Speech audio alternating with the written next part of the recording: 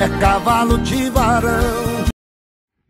Olha aí pessoal, Ara Cibele Fraga fazendo a entrega aqui da elaborada da Cibele Fraga que está indo para o rancho Topado em Teotônio Vilela Lagoas, meu amigo e cliente Peu Pereira. Você não adquiriu uma égua não, você adquiriu uma nave espacial. É show, papai! É isso, Gomercinho. Fabrício aqui, a gente acaba de receber a elaborada, Cibele Fraga, coisa linda, rapaz.